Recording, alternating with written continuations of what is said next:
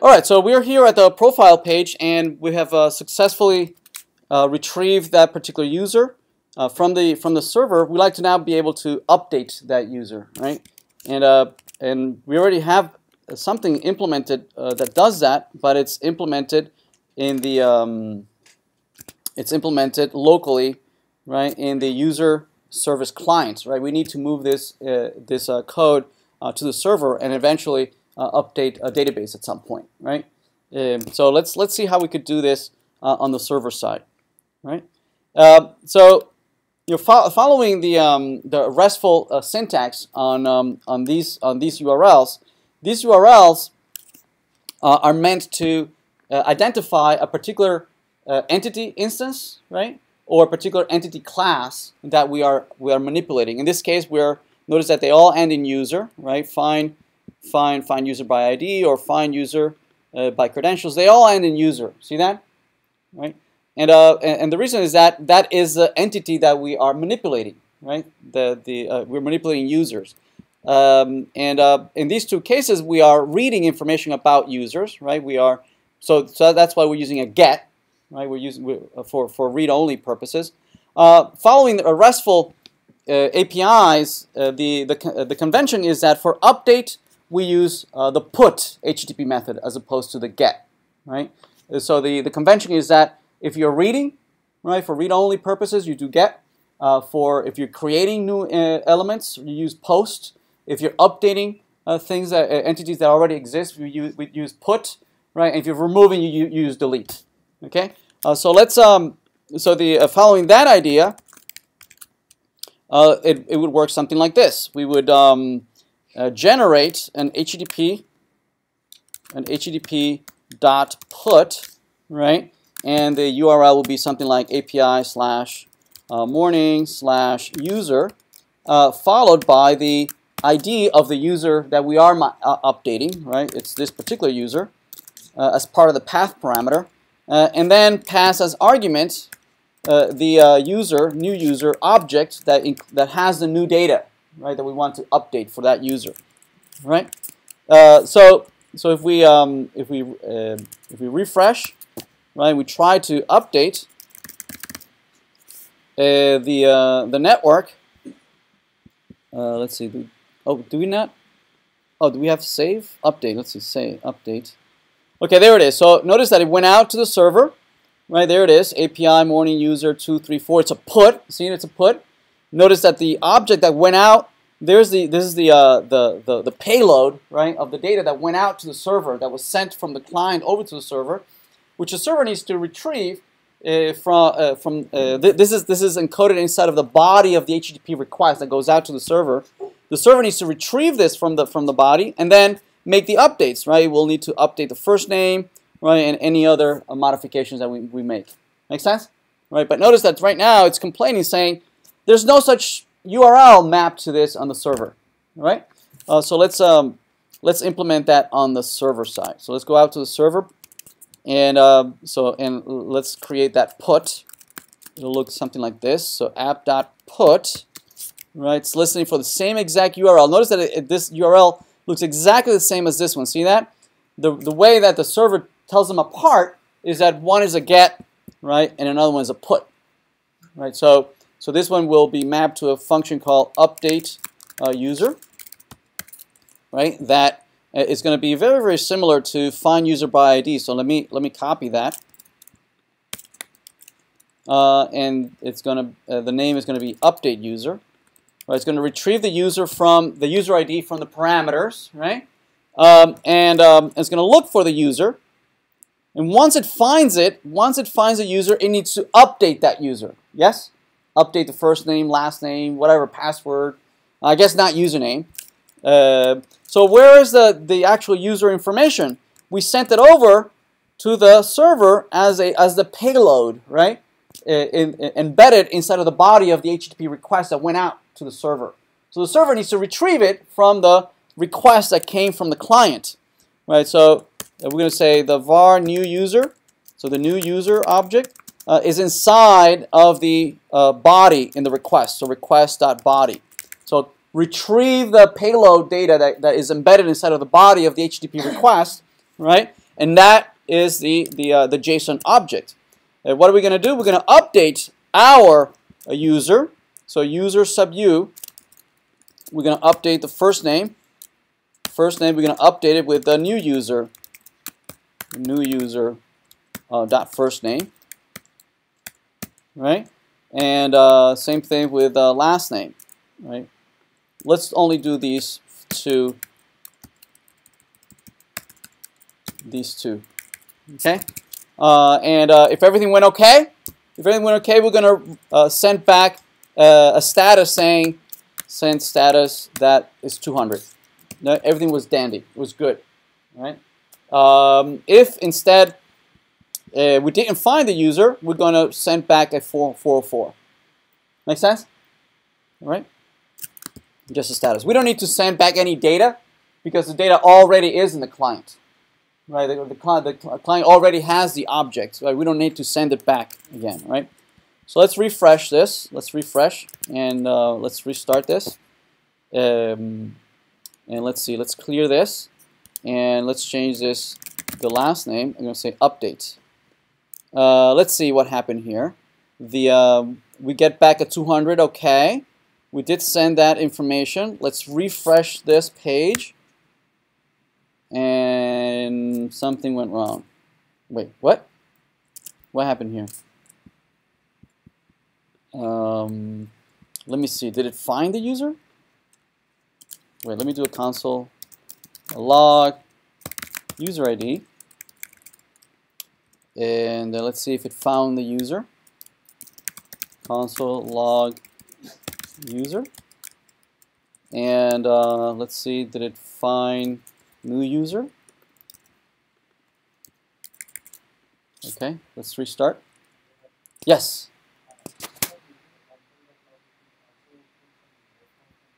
Uh, yes we could. The thing is I have an older version of WebStorm and it's not compatible with the Node.js version I recently updated Node.js. and It's not compatible with WebStorm, so I can't put breakpoints. yes. I passed, I sent it over as, yes, is embedded in the body of the HTTP request. Right, so the server retrieves the data that comes back comes from the client, right, from the from the body.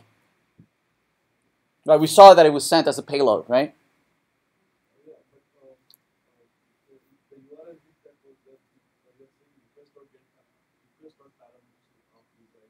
Yep. I am. That's that's why params, right? Right. If it were in the query, like like question mark uh, ampersand, then I would use query. These over here. Okay. Uh, so all right. So this Bob. This Bob. Let's change that and let's see what happens on the server when I send the updates. Okay. Looks like looks like this is all right. So I found it found the it looks like I got the UID user ID okay there it is. Uh, looks like it found the user.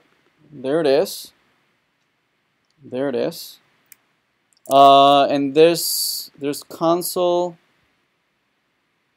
Okay where what's this over here? Wait what? So we have this console. User ID there it is. 234 uh, it's fine. It's looking for the user for. Oh, okay. We don't want to display this so many times, right? Sorry. Uh, so if it finds a user, I want to print the user and then new user, right? If it finds a user, there's the user it found. So something like console log found user, and this is new user, right? New user. Let me, let me refresh. Let's refresh. Updates. Oh, so the new user, notice that it's not coming, right? It's not coming from the uh, client. Something is wrong, right? So we are sending it because we, we, we did check the, uh, we inspected it, right? And we saw that in the network. We are sending it, right?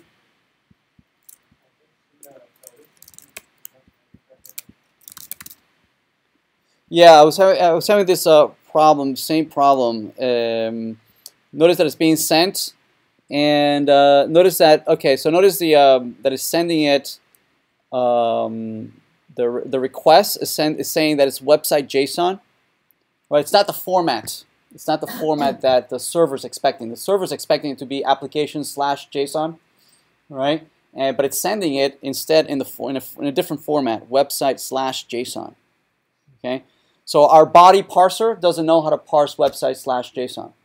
Right? So we need to override on how the uh, client uh, formats the puts and the posts that sends over to the uh, uh, to to the server. Right? So let's do that. Let's uh, let's fix that.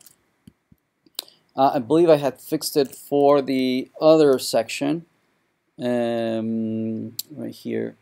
Right. So in the config, I believe I added this in Piazza. Um, and so, so you can you can configure, right? When uh, and for for Angular, we can say that hey, you know that HTTP service you're using to post and puts and gets and all that, right? You can configure and and say hey, when you conf when you send a post or when you send a put, right, uh, to use the following content type, right? As, as in the header, right? In the headers, you can you can say hey for the content type header, which is right now. Notice that the content type, see that? Or sorry, right here, content type. The content type in the header says that it's website slash JSON. And the server saying, I don't, I don't know how to parse website slash JSON, right? Uh, it's, it's a correct, the data is in the correct format, right? Notice that it's the correct format. It is the correct string, right? Uh, but the server is, is uh, refusing to parse it because it sees the content type uh, of a content that it does not recognize, right? So we're going to override how th this content type, right? Uh, we could do it. We could do it in the service. We could do it on the in the service uh, here, right here. We could say dollar sign HTTP dot header content type is equal to blah blah blah. blah. But I'm going to do it for the for the entire application, right? Because this, we're going to run into the same issue when we do websites, pages, and widgets, right? Uh, so I'm going to do it for for for. I'm going to say always when you use post and put, always use content type JSON. All right. Okay, so I'm going to copy it from the from right here, and I'm going to put it in the conf our config. Where's config? Right here, config.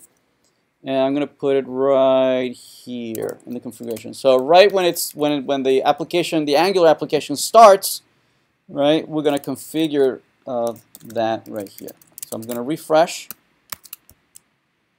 I'm going to restart the server because uh, apparently I'm, re I'm removing these things from the server. And restart the server. Uh, so let's look for uh, Bob. There it is. And let's uh, let's clear this. And let's do an update. Uh, let's refresh. There it is. So it did work, right? It did work. Right? The, uh, notice that the update is working. Even when I refresh the page, right, it's fetching the right object from the uh, from the from the server. Everybody okay? Right. Yes. Yeah, I, I, might have an older version of Angular. You might have a, a newer one. Um, I think you're using 1.5, right? I think I, I think I might have I might be using an old uh, an older one. Uh, yeah, you, you have to make sure that the body parser the Angular version and the Node.js version, they're all you know they're all compatible versions, right? Um, all right, so so that's working. Uh, so update is working, right? Um, let's see. We we um, looks like we when we update it and we we update it. Notice it says unable to update users. So there's something wrong with that logic in the update. Let's see what's going on here. Uh, the profile controller the profile controller when it updates, here's the updates, right? Oh, okay, so here it is. What's happening is that the update is still using the synchronous version of this, right? It's getting a promise, right? Uh, so, so it's misinterpreting this, this object, right? This is no longer a user, right? Instead, this is a promise, and we're going to register success here. Success, which is going to uh, receive a response. This response is really what it's it's really um, a 200 or a 4 4, right? Uh, if it's if it's if it's a 200, uh, we're just going to ignore it. We don't. There's nothing for us to do, right? Or, or maybe we could say, sorry, we could we could say something like uh, successful, right? Yeah, successfully updated. Or if we get an error, right? We can say uh, we can say unable to update. So we can throw this away now. Okay, so let's let's refresh that. So if we change this and we say update, uh, oops, what's going on? Console is success. Uh, service. What's going on? Did I not? Oh, we never returned this. So return, return. Let's okay, let's uh, refresh that. Let's try it again. Let's go back to Bobby. Let's say update. There it is. A successful update. Make sense? Right?